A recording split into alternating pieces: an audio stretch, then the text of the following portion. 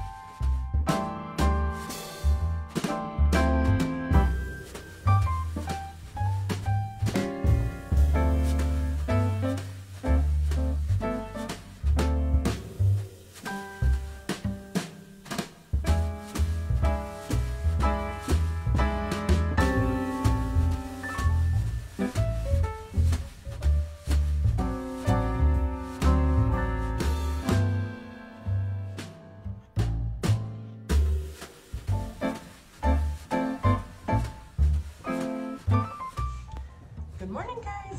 So we are having breakfast with baby. Papa's already gone to work.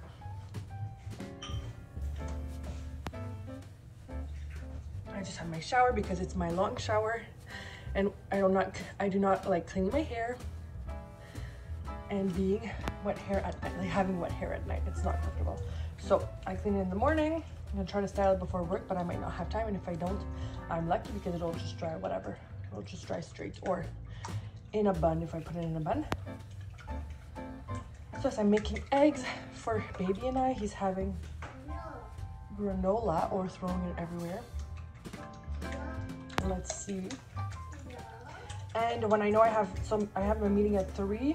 That's an hour long meeting for HR. So when I know I have these meetings, I bring baby later to daycare. So I'm bringing him at 10, so in 45 minutes, because I know that I have to pick him up. I'll only be able to pick him up around like 4.30. So yeah, I should bring him even later, a little bit like 10.30, so that he's there. My, my goal at his age right now is six hours. When he was younger, was five. And I know that when I have the other baby, he'll be there a little bit longer because it's dad that's gonna have to probably pick him up sometimes from work. If I have the baby at home in January, it's gonna be pretty cold. So I'm taking advantage of the fact that I'm still pregnant and I can still get him earlier. So I'm bringing him at 10.30, gonna pick him up at 4.30. And then we have our night together because his dad on Tuesdays has meetings. So we are gonna have dinner together. And I'm gonna make a quiche. And that's it. That's pretty much it for now. I did my reading this morning. I'm gonna try to find a way to do a little bit of movement and meditation. Usually I do movement when I'm cooking. So when I'm cooking, it's while it's cooking and he's eating, I'm gonna like do either some moves on Melissa Wood Health app or just random ass moves that I like. Now I have to go watch him because I think he's throwing his food everywhere. Okay, there's some days I'm trying to leave the house and I feel like I can't do it. Okay, let's go, my love. We're going? We're going to daycare?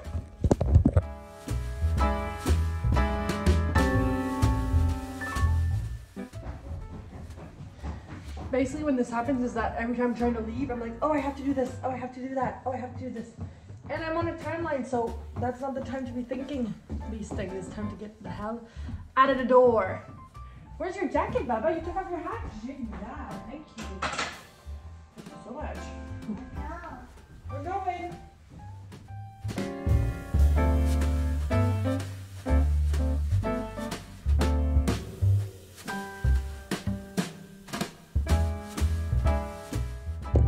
I look crazy. so I'm gonna have to do my makeup on the run. My hair's gonna be drying, so whatever. That's the reality for me. I'm like, fuck, I'm like, I feel like I'm forgetting something. I hate that feeling. but this happens. This happens. Not every morning is productive and organized. What's that? Okay, let's go to daycare and let's get this show on the road. We'll just jump in straight in and we'll get everything going. And that's just gonna help build momentum and get going, get going, get going. Guys, by the way, we had snow in November. It was covered in white and now I like I'm wearing this vest because it's warm. How much is it?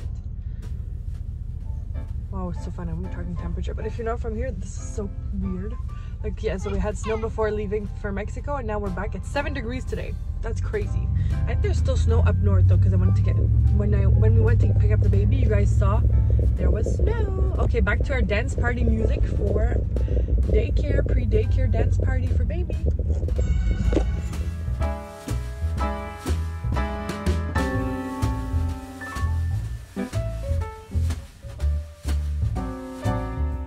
Look how small I look. That was freaking annoying. So my our tires are not doing well for this truck. We're changing them tomorrow. So there's two that were super like low pressure. And I was trying to I was giving them air. Why can't I speak? I'm too pregnant for this stuff. I hope you guys are enjoying vlogmas nonetheless because I'm very pregnant for this. Okay, someone someone showed up beside me and I'm like, hello, not not vlogging beside you. I look so tiny. So I was blowing air and this is my little trick for you and then I have to run because I'm obviously like I'm running late. I don't have time to blow up tires. Um, but in annoying situations like this where I'm like holding, my hands are cramping, my belly uh, is so heavy right now because I'm 35 weeks. So the it's all pulling on my abdominals. I'm like on the ground beside the pickup and I'm like, this is so shitty. And right away I was like, okay, this is a obviously a negative thought. Let's turn the situation around. And while the air was was blowing into the tires, I literally took deep, deep breaths. So deep inhales, deep exhales, and looking at like whatever nature I can see around me. I'm in the city, but there's like trees behind and like whatever. I was just trying to focus on that and taking deep breaths because when it, like when you have a busy day and you don't have time to sit down on your meditation pillow, light your incense, all these things. Oftentimes we're like, nope, I can't do my workout or I can't do my meditation because I'm not at the right spot. Like, no, done is better than nothing. Like we said for babies, fed is better than unfed. So feed them how you want.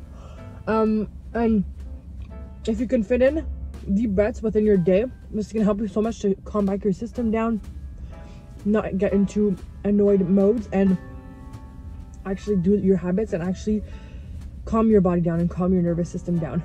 So don't just do your habits like like don't be so rigid with your habits they don't happen. I just meditated while pumping air in my tires. That's how it had to be done today. And I'm I feel much better and more clear-headed. Is it the same effect as like my deep meditation where I have no distractions and I'm sitting down, my eyes closed? Of course that's better. But if that can't happen, still find ways to fit it in your day. Still find ways to move. Still find ways to walk up the stairs for movement or whatever it may be. Like all these things. Find ways to read one page, two pages uh, when you're waiting for something or waiting for someone. So yes, that's a little trick to still keep your habits daily. So they happen every day so you don't forget to do them, but without pressure of doing them perfectly.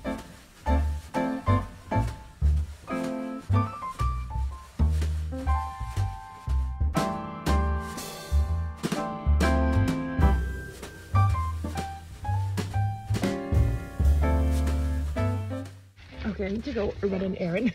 I get stuck in the, like recently, I don't know why I get stuck in the car or like by the window. I get stuck like answering messages and I get into like these conversations about certain things. So there's a lot of groups that I'm a part of in regards to my HR work. So obviously I have to, I, have to I have to answer those sometimes and then I got stuck in the car, but I have to go run an errand for work.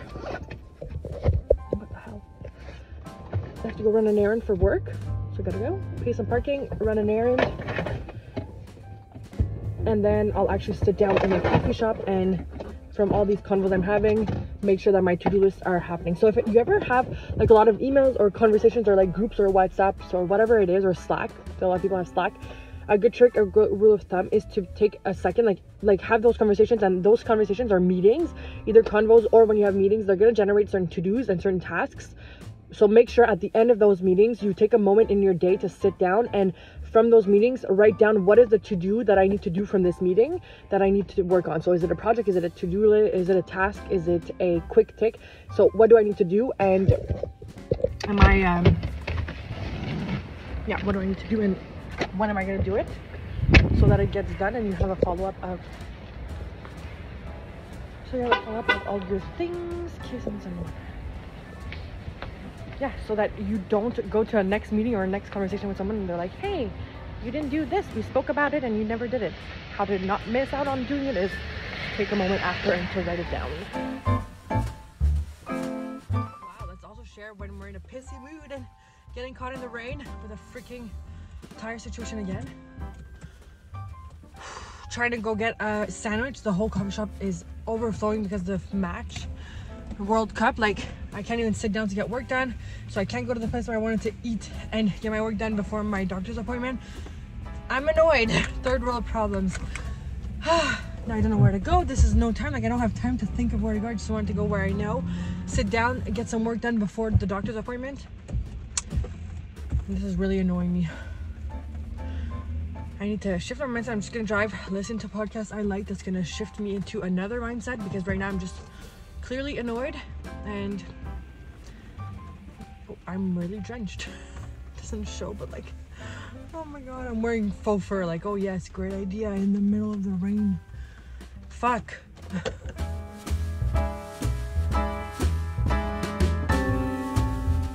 what a gloomy day. Apart from getting drenched in rain because uh, tires that I need to blow up, I really don't mind rain. I don't mind gray days because I just make the most of it. So when it's gray days and rainy, I'm like, okay, yes, let's hunker down, have a coffee, get some work done, and I'm excited about it. And a lot of people are affected by the weather, so that's why I'm touching on this because it should not affect you. You should be okay. You should not let it put your mood down. Like find ways to love it and have an enjoyable moment in regards to the fact that it's raining, like me, like with my coffee and hunkering down for work, and find ways to make it enjoyable for yourself so that you're happy even when it's raining, because you should not be sad because of that. All right? So I'm gonna park now. I'm literally in two kilometer traffic. I feel so bad because I have a big meeting with the owners of the main clients I have for the group of bars and restaurants for HR, and the meeting went long, and it often does on, on Tuesdays, which is really fine. It was a great meeting, but then I feel bad because poor baby, I'm picking him up like much later than usual, and I know that if I don't pick him up at like four, if I pick him up later than 4.30, he gets super like anxious. He gets, like he knows it's not normal, you know? So he'll like be upset and hopefully get there quickly and he feels fine. Then I gotta run home and figure out, like I'm supposed to make a quiche for dinner, but I feel like we had eggs this morning. I don't want eggs again. Let's see what we're gonna do. I have no idea it's in those moments that I'm just like trying to improvise and make the best out of something which is clearly not, it's not the best right now. it's just stressful basically. So we will chat when I get home. I have nothing else to say except let's hope this traffic gets cleared and I can get to my baby quickly because I miss him. And we had our appointment at the doctor. The baby in my tummy is doing great. There's so much for that. Like, that's such a load of like checking on this baby, checking on that baby. When's this appointment? This is so annoying. Like, these wipers, I don't know how they work.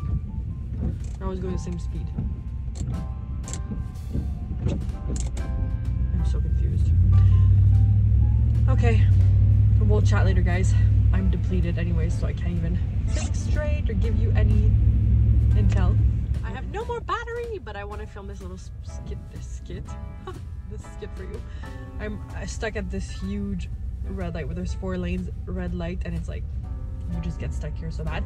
Anywho, I'm like thinking of priorities and, and all this and how important it is to set your priorities. So if you're feeling burnt out and you feel like your life is taking over and work is taking over or something else. Like for me today let's say i'm going i finish work later than i'm supposed to but this happens once in a blue moon. Like usually it doesn't happen because my priorities are so clear and it's clear for me what's which what takes priority in my own life what do i value the most and i got clear on that so that my decisions are made around that. So if you feel like you're depleted and you're burnt out and all these things oftentimes if you look at your priorities and your values and if they're aligned with your life this is where you're going to be able to have so much power. So first of all, take your power back. I always say this.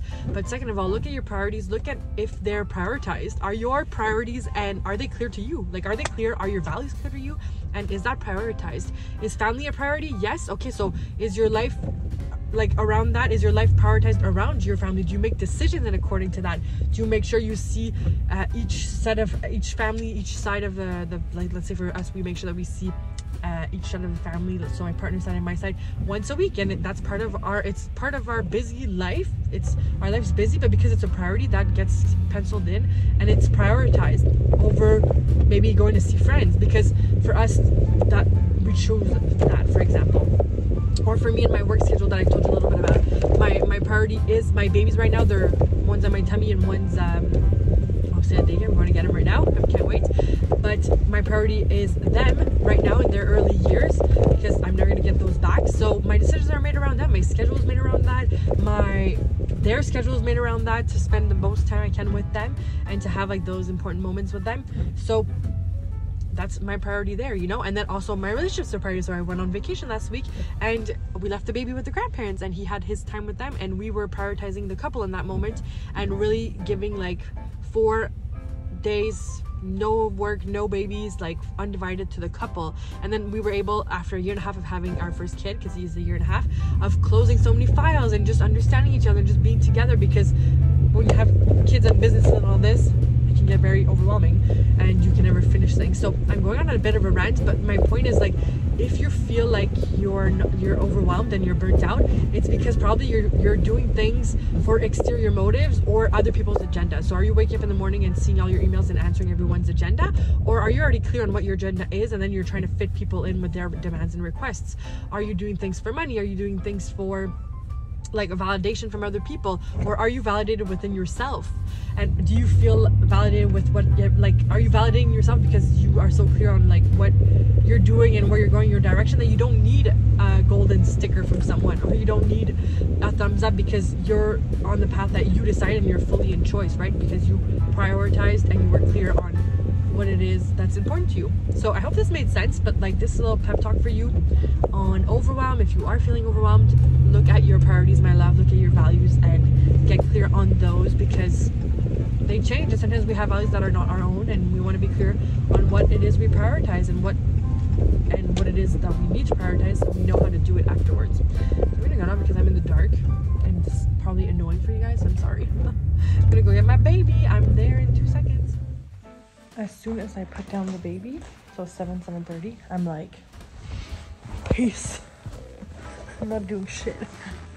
No, honestly, it's like, for me, it's like, yay, now I can freaking relax. And usually I'll do a cleanup or I'll clean up before, right before he goes to bed. Usually we're two, so I have helped for bath and then I can clean up or whatever. But right now, the house is a mess and who freaking cares? So, yes, who cares that you have a pristine, perfect home like social media? That's not reality. Sometimes you're pregnant and you're tired, or you're not even pregnant, you're just tired and you don't want to do it, and that's okay. Like, there's literally pasta everywhere. There's pasta I have to put away in the Tupperware, but my partner was gonna have some, so I'm gonna wait. There's pasta. The baby was like playing with his dinner so much tonight, and we were in a rush, so that was really tough. Um, but yeah. I'm tired. this is my Tuesday. Some some days are busier than others, and something's gonna fall to the wayside. So, what was more important, like spending an extra 10 minutes playing in the bath with the baby and like really connecting with him, or was it cleaning up the pasta for 10 minutes? Like, I'd rather waste my energy on my priority, which is my baby and my house. I want it to be nice and clean and all that, but that's gonna happen tomorrow morning when I have the energy to do it And I'm gonna chill. I'm gonna edit these today's vlogmas. I'm gonna watch some vlogmases. I'm gonna read the book that I just downloaded on my Kindle that I'm so excited. The book is Mastery of Love. So when a book pops into my life and I get really like a urge, like a crush to read it, like this kind of like attraction to read it, I jump on it all the time because when I do, every time I have done that, even though I'm reading other books at the moment, every time I've done that, they're like the best books I've ever read, the ones I love the most. So I really listen to those gut feelings. I'm still going to read my book, Mastery. No, what is it called? Becoming Supernatural. I'm almost done that one. I finished one for vacay, and I have another fiction one that I read before bed. But now the Mastery of Love one. It looks so good. So it's the same art er, artist. I guess he's an artist. It's the same author as The Four Agreements, which is very popular. I didn't know he had written six books, but he has. So Don Don Julio, what is his name? Oh my god. I'm pregnant and my memory used to be amazing. I used to know every lyric of every song and now I don't know shit. I don't know. But yes, Mastery of Love, look it up. I just started and I'm already like, this is so good. I'm I highlighted so much already in the three first pages. I'm like, okay, I should just highlight all of it. what the hell? so I'm gonna read that. I'm gonna watch some Vlogmas, edit my Vlogmas, and get my makeup off because I look like I already smeared it because I was stuck in the rain all day. I hope you guys had a beautiful day. I hope that my talk on priorities inspired you to sit down with yourself and look at your priorities and your values and make sure that you're putting yourself first so that your cup is filled and then you can fill everybody else's cup in your life. So, love you guys, and we'll chat tomorrow's vlogmas.